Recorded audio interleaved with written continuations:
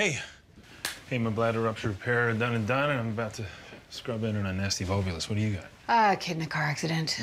He's lucky, though. I, I'm not seeing much of anything. Just a small congenital AVM. Nothing to do there. If he's clear in a few hours, I'll send him home. Hey, you got a minute to talk?